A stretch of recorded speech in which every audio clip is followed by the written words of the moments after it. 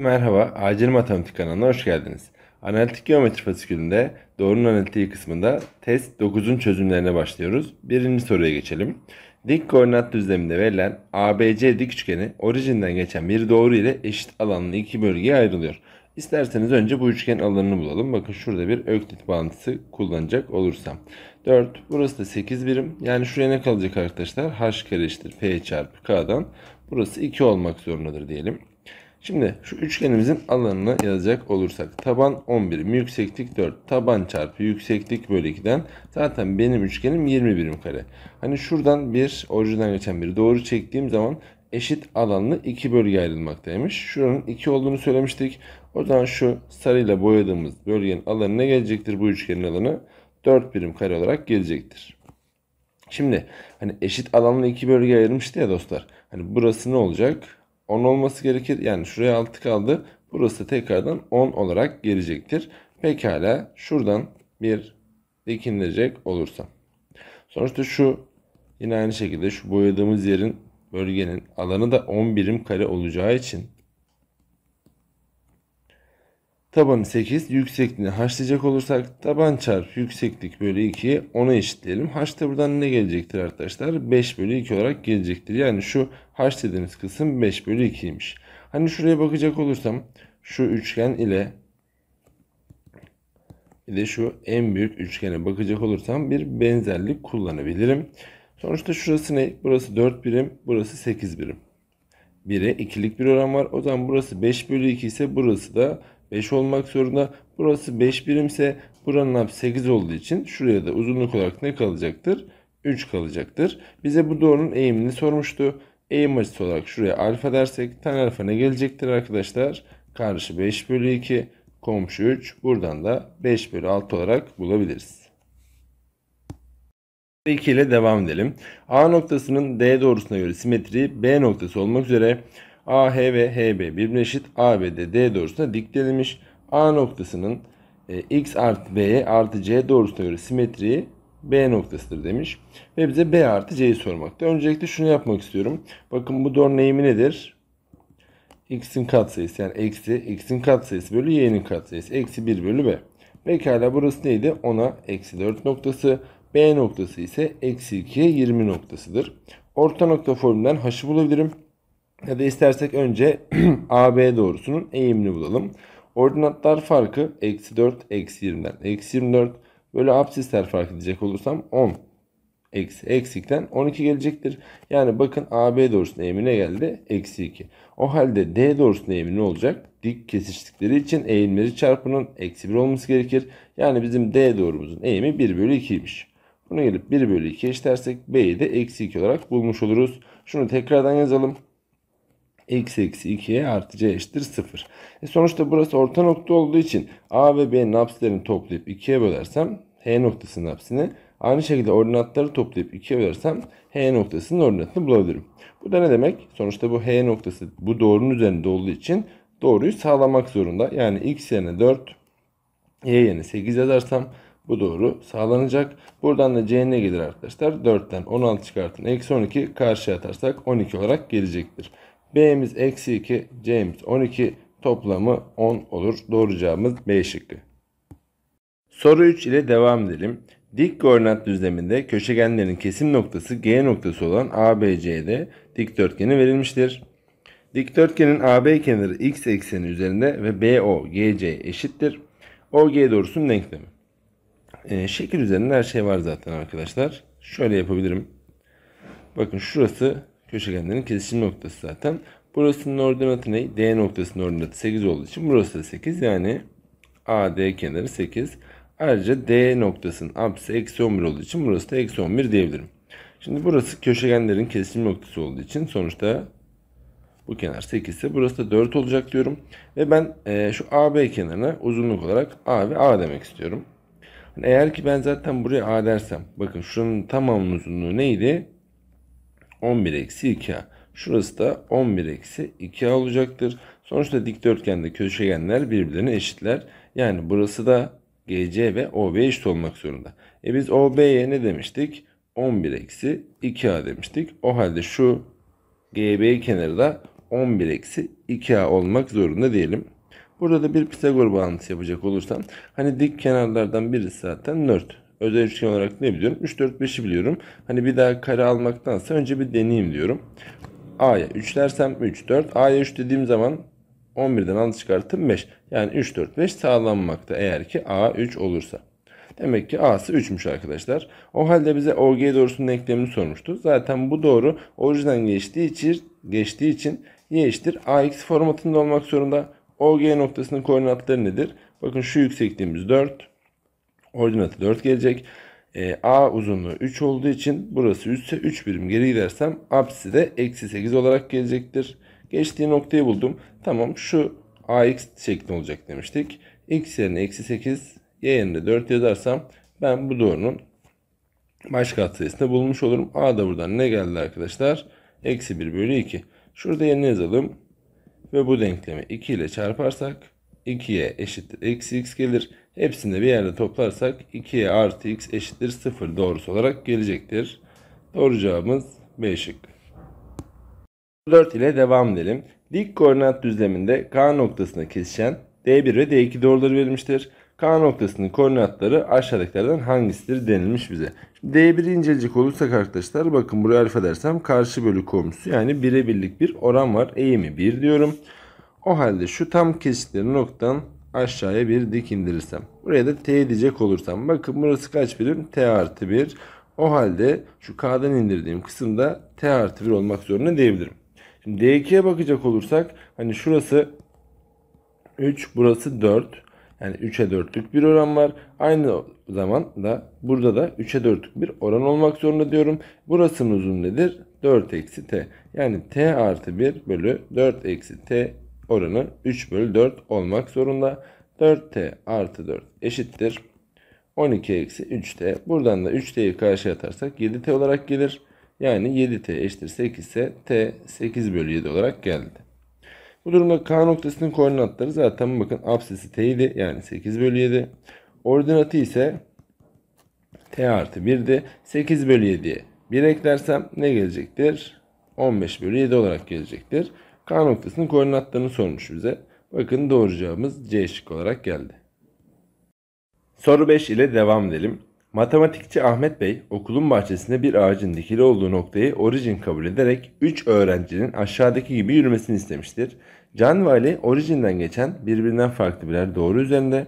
Kerem ise x artı eşittir 3 doğrusu üzerinde. Bu yürüme işlemi gerçekleştiğinde öğrenciler eşkenar üçgen biçiminde çim ekili bir kapalı bölgenin etrafında yürüdüğü görülmüştür. Çim ekili bölgenin alanı kaç birim karedir? Dostlar şu boşluğumuza güzel bir şekilde şeklimizi çizelim x artı y artı 3 doğrusu demişti galiba bize. Evet x artı y eşittir 3 doğrusu. İsterseniz önce bu doğrunun denklemini yazalım. y eşittir 3 eksi x. y'yi yalnız bıraktım. E, x'e 0 dersem y eksenini kestiği nokta 3. y'ye 0 dersek x eksenini kestiği nokta 3 olarak gelecektir. Doğrumuzu bu şekilde çizelim. Sonuçta bu doğrunun eğimini arkadaşlar y yalnız kaldığında x'in katsayısı eğimdir. Demek ki eğim açısı ne olacak? Tanjant 135 olacak. Yani şurası 45 derece. Zaten x kenar bir üçgen çizdik buraya. Bir de eğim tanımını kullanmış oldum. Şimdi diğer iki arkadaşımız orijinden geçen iki doğru üzerine yürüdüğünde burada bir eşkenar üçgen oluşmaktaymış. Yani şunlardan bahsediyor. Burası bir eşkenar üçgenmiş. Pekala. Şimdi ne biliyorum ben arkadaşlar? Tam şu orijinden. Tabana bir dik çekersem. Sonuçta burada ne olacak? Tekrardan bir 45 45 ikizkenar üçgeni yakalayabileceğim. Burası 3'tü. 90'ın karşısı 3 ise 45'lerin karşısı ne olacak? 1 bölü kök 2 katı. Yani şurayı söyleyebilirim o halde. Buranın tamamı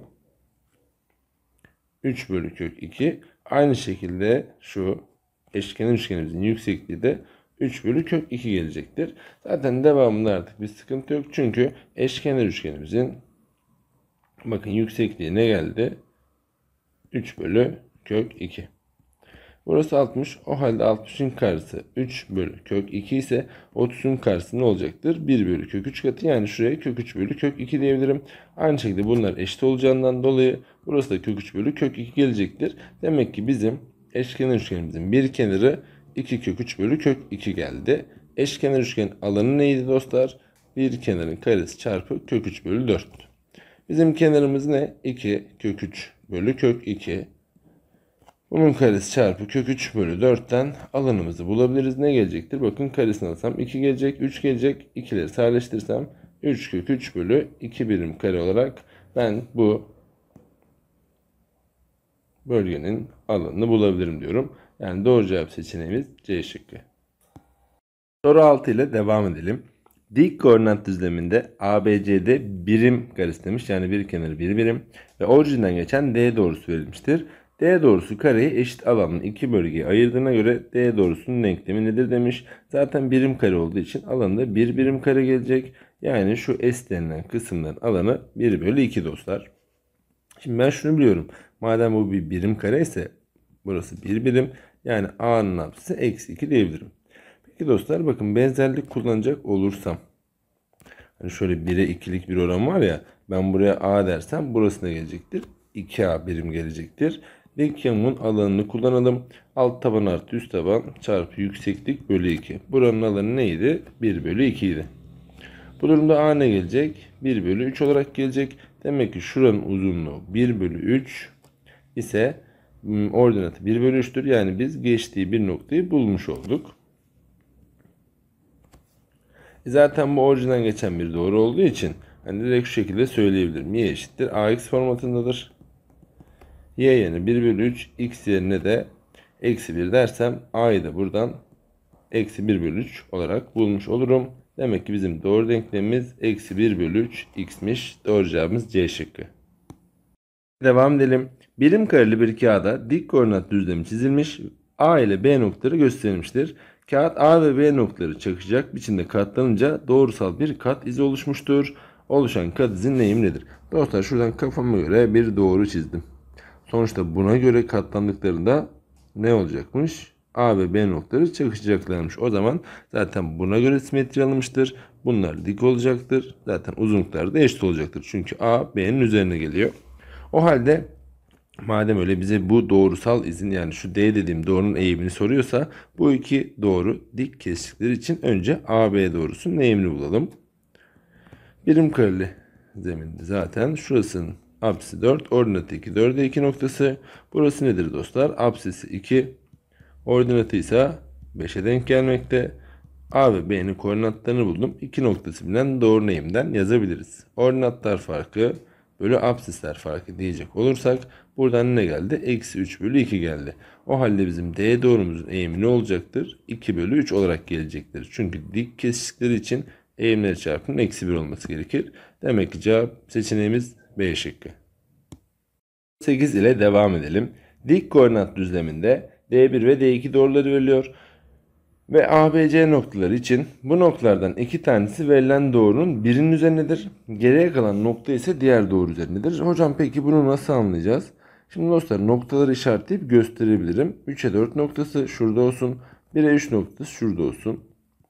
Hani bu iki nokta atıyorum ki birisinin üzerindeyse demek ki o doğru artan yani o doğrunun eğimi pozitif.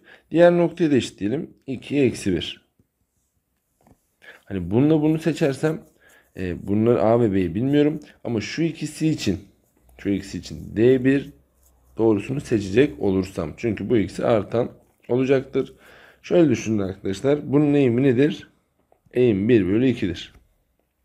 O halde A ve B noktaları için bu doğruyu seçeyim. Eğim kontrolü yapalım. Bakın burası neydi? 1'e 3. Burası da 3'e 4'tü. Yani burası 2 burası 1 birim geldi. Evet eğimi de 1 bölü 2. O zaman D1 doğrusunun üzerinde olan iki noktamız A ve B. Peki nokta ordinat ilişkisi herhangi birisini D1 üzerinde yerine yazalım. X yerine 3 Y yerine 4 yazacak olursak. 3 eksi 8 artı A eşittir 0. A da buradan 5 olarak gelecektir. Yani A'yı yerine yazmış olduk arkadaşlar. Şimdi C noktası da mecburen D2 üzerinde oldu. A'yı bir daha yerine yazıp bu sefer bu noktayı saltıp B'yi bulalım. 2 eksi 1 bu doğru üzerinde ise x yerine 2 y yerine eksi 1 deyince de bu doğru sağlanmak zorunda. 5 kere 2 10 eksi 1 artı b eşittir 0 ise b de buradan eksi 9 olarak gelecektir dostlarım. Yani doğru cevap seçeneğimiz D şıkkı. Soru 9 ile devam edelim. Gül öğretmen matematik dersinde analitik geometri konusunu anlatırken öğrencilerinden dik koordinat düzleminde önce 2x artı 3y eksi 18 ve orijinden geçen D2 doğrusunu çizmelerini. Sonra da D1 ve D2 doğruları ile x ekseni arasında kalan bölgenin alanını bulmalarını istiyor. Öğrenciler bu alanı 9 birim kare olarak doğru bir şekilde buluyor. D2 doğrusunun eğiminin alacağı değerler toplamı. Şimdi dostlar bakın. Doğrumuz neydi? 2x artı 3y eksi 18. Bir de orijinal geçen bir D2 doğrumuz var. Pekala şurada güzel bir şekilde çizmeye çalışalım. Öncelikle bize verilen D1 doğrusunun grafiğini çizelim. X yerine 0 dersek y ne gelecektir? 6. Y yerine 0 dersem x'e 9 gelecektir. Yani y ekseninden 6, x ekseninden 9'u işaretlediğimi düşünün. Şu D1 doğrusunun grafiği olsun. Pekala hemen bir şekilde yapıştıralım. Yani öncelikle orijinden geçiyordu ya. Hemen şöyle artan olan doğruyu bir alalım. Yani bir artan bir daha zaman olacak. Yani ya sağa yatık ya da sola yatık olacak orijinden geçtiği için. Şimdi eğer x ekseni ve d1 d2 arasında kalan bölgenin alanı bu bölge ise taban 9 yüksekliğinin ne olması gerekir? Alanın 9 olduğunu söylemişti. Demek ki yükseklikte 2 diyebilirim dostlar. Bana şimdi bu doğrunun eğimini sormakta ya. Peki şöyle düşünelim. Hani bakın şurada 6 bölü 9 yani 2'ye 3'lük bir oran var. 2K'ya 3K'lık bir oran var arkadaşlar. O zaman burada da 2'ye 3'lük bir oran olacak. Ki zaten yüksekliğim 2 olmak zorundaydı. Demek ki burası 3. Burası 3 ise şuraya kalan uzunluk 6. Yani burasının apsisi 6. Ordinatı 2 diyebilirim. D1 doğrusunun pardon D2 doğrusunun eğimini arıyorum. Buraya alfa diyecek olursam D2 doğrusunun eğimi ne olur? Karşı bölü komşudan 1 bölü 3. İlk durum buydu arkadaşlar. Şimdi diğer duruma bakalım. Bakalım diğer durumu bulabilecek miyiz? Bir de ne demiştik? Sonuçta orijinden geçiyorsa ya bu şekilde eğim pozitif olursa ya bu şekilde ya da diğer türlü geçecekti. O zaman şuradan bir de şöyle bir doğru çizelim. Yine aynı şekilde x ekseni ve d1 d2 arasında kalan bölgenin alanı burası ve 9 olacakmış. Yani taban 9 yüksekliğimizi şuradan dışarıdan çekecek olursak demek ki bu sefer bu yüksekliğin 2 olması gerekiyor. Çünkü şu üçgenin alanını arıyorum. Tabanı 9 birim olduğu için yüksekliği 2 olsun. Taban çarpı yükseklik bölü 2'nin 9'u vermesini istiyorum. Pekala eğer orasının yüksekliği 2 ise bu noktanın ordinatı ne gelecek? Eksi 2. Yani bana şu doğruyu eksi 2 yapan x değeri lazım. Y yerine eksi 2 yazacak olursam 2x eksi 6 eksi 18 eşittir 0. Eksi 24'ü karşıya atalım. X'in de 12 olması gerekir. Yani bunu eksi 2 yapan absis 12'ymiş. Demek ki şu bizim ikinci D2 doğrumuzun geçtiği noktaları bulmuş oldum. 12'ye eksi 2. Zaten bir de orijinden geçiyordu. Hızlı bir şekilde eğimini yazabilirim. E, ordinatlar farkı böyle absisler farkından eksi 1 bölü 6 geldi. Bize D2'nin eğiminin alabileceği değerler toplamını sormuş. 1 bölü 3 artı eksi 1 bölü 6'da 1 bölü 6 olarak gelecektir. Yani doğru cevap seçeneğimiz A şıkkı. 10. Şekildeki sarı renkli bölgede bulunan tüm noktalar aşağıdaki eşitsizlik sistemlerinden hangisinin çözümüdür? Işıklara bakmadan başlayalım arkadaşlar. Hani öncelikle şu mavi ve pembe kesikli olan doğrunun denklemlerini yazalım. Hani artık 9. testteyiz. Hızlı bir şekilde doğru denklemi yazalım. Şu doğru denklemi nasıl yazacağım? Y eşittir. Hani ax artı b formatında hızlı yazalım. x eğim b ise y eksenini kestiği noktadır. Sonuçta y yalnız kaldığında x'in katsayısı eğim. Sabitlerim de y eksenini kestiği nokta. Peki ben buraya harf edersem karşı 4 komşu 3 ne geldi arkadaşlar? Eğim 4 bölü 3. Yani 4x bölü 3 dedim. Ayrıca sabitlerim ise y eksenini kestiği noktadır. Aynı şekilde mavi kesikliği de yazalım. Hemen y eşittir diyorum. Bakın buraya alfa dersem sola yatık olduğu için eğim eksili gelecek. 5 bölü 4'ten eğimine geldi? Eksi 5 bölü 4. Artı y ekseninin kesti nokta ise artı 5. Hani bunların denklemlerini yazdık. Şimdi bu eşitsizlik grafik tarama olaylarını hatırlayacak olursak öncelikle şunu bir düzgünce yazalım. 3 ile çarparsak 3y, x'i de karşı atalım 4x. 3 ile çarparsam bununla çarpmak zorundayım 12. Bu doğrunun bakın bu doğrunun üstte kalan kısmını taradığını düşünecek olursam eğer doğrunun üstünü tarıyorsa büyük eşittir yazıyorum. Yani y artılıyken okuduğunuz zaman y büyük eşittir diye okumak zorundasınız. Üstünü taradıysa. O zaman bu benim için bir sistem. Bu okey bu cepte. Aynı şekilde diğer denklemi 4 ile çarpacak olursam 4y. Eksi 5x ile karşılatalım. Artı 5x. Bir de bunu 4 ile çarparsam artı 20. Şimdi bu sefer şu kesik kesik olduğu için küçük eşit veya büyük eşit olamayacak. Yani ya küçük ya büyüktür kullanacağım. Bu doğrunun da alt kısmını taradığını görecek olursanız hani bu sefer de küçüktür koymak zorundayım. Doğrunun üstünü tarıyorsak büyük, altını tarıyorsak küçük. İkincisi de bu. Pekala şimdi şunu söyleyebilirsiniz. Burada bunun üstünü diğer doğrumuzunsa altını taradığımda aslında çözüm kümesi olarak hani şuranın da gelmesi gerekiyor. Ama burayı almamış. Peki sadece böyle bölgesel aldığı zaman bir şartımız daha vardı. Bakın buradaki absisler nedir? Eksi. Bu bölgedeki ordinatlar nedir? Artı. Bunu da nasıl gösteriyorduk arkadaşlarım? x çarpı y küçük eşittir 0 şeklinde. Yani gördüğünüz gibi 3 tane eşitlik sistemi bulduk. Şimdi şıklara bakmaya çalışalım. 4y artı 5x küçüktür 20. Bakın burada var. Diğer ifademiz neydi? 3y eksi 4x büyük eşittir 12 idi. Bakın burada şaşırtma yapmak için bu ifadeyi eksiyle çarpmış. Bizim bulduğumuzu eksiyle çarpmış. Hali de işaret yön değiştirecek. Yani 4x eksi 3y küçük eşittir eksi 12 olacak. Ve son olarak x çarpı y küçük eşittir 0. Evet üçünü de bulmuş. Yani doğru cevap seçeneğimiz A şıkkı olarak gelecektir.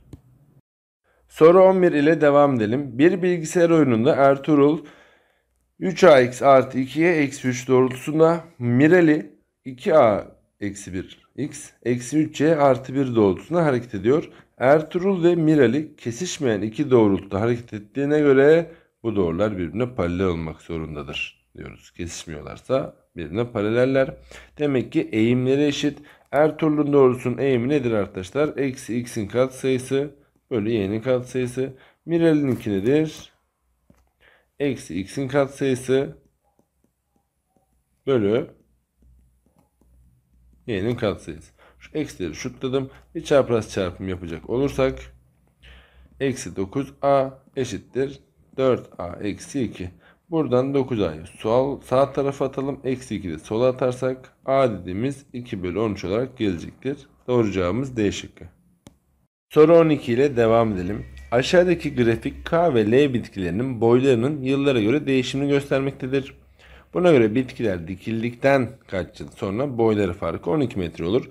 Hani bu soruları yaparken artık ben doğru denklemlerini yazıp hızlı bir şekilde yapmak istiyorum. Oran orantı konusunda da aynı sorularla karşılaştığımızda hani bu ifadelerin doğru denklemlerini yazın geçin. Şuraya alfa diyecek olursam bakın burası 6 burası 4. Karşı bölü komşudan eğim 6 bölü 4 dostlar. Yani 3 bölü 2. Y yalnız kaldığında x'in katsayısı eğimdir. Ve y ekseninin kes nokta sabit terimdir. O yüzden buraya bir şey eklemedim. Aynı şekilde bakın L'nin doğru denklemini yazalım. Burası 2, burası 4. Şuraya alfa diyecek olursam karşı bölü komşu 1 bölü 2 yani x'in katsayısı eğimdir. x bölü 2 diyorum. Ayrıca y ekseninin kes nokta sabit terimdir. Yani bunları yazarsan en azından daha kolay bir şekilde halledebiliriz. Bitkiler dikildikten kaç yıl sonra boyları farkı 12 olur. Yani şurada bir yerde 12 olduğu yeri soruyor bize. Pekala ben de diyorum ki o zaman hani şurasının apsisi t olsun. Üsttekinde yani şu k ile giden de burada x'nin t yazarsam ordinatı ne gelecektir? 3t bölü 2. Aynı şekilde L doğrusunda da x'ini t yazarsam ordinat ne gelecektir? t bölü 2 artı 4. İşte bu farkın ne zaman 12 olduğunu sormakta bize. O yüzden 12 eşleyelim. 3t bölü 2'den t bölü 2 çıkartırsak paydalar aynı zaten 2t bölü 2'den t olarak gelecektir. Eksi 4 de bu şekilde içeriye dağıtalım. Eksi 4'e karşıya atarsak dostlar ne olacaktır? 16. Yani burası 16 olduğu zaman boyları farkı 12 olmaktaymış. Zaten bize de ne sormuştu? Dikildikten kaç yıl sonra boyları farkı 12 metre olur demişti. Yani doğru cevap seçeneğimiz E şıkkı.